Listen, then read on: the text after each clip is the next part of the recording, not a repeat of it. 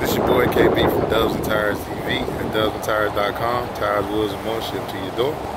Find us online at dubsandtires.com or call us at 877-544-8473.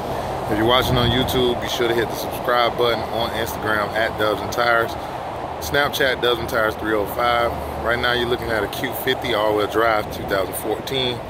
Got the niche Veronas and gloss black. 20 by 10 all the way around with the 255 35 20 got the RSR drop springs on it. Two inch kit. Great looking wheel.